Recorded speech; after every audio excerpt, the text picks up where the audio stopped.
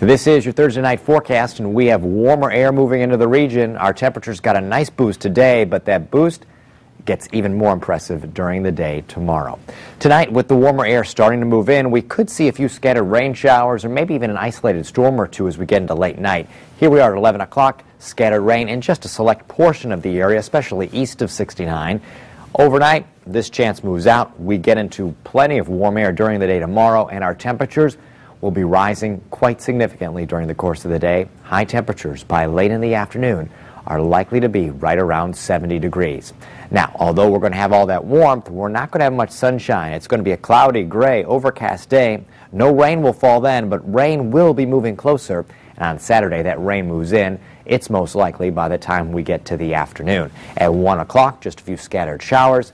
By the time we get to Saturday late afternoon and evening, that rain becomes a whole lot more commonplace. A soggy nighttime on Saturday leading us into a Sunday that will see more periods of rain through the day. 70 is our Friday high, followed by 66 on Saturday, 63 on Sunday, Monday, more rain, 64, down in the 50s on Tuesday and Wednesday. That's your latest forecast update.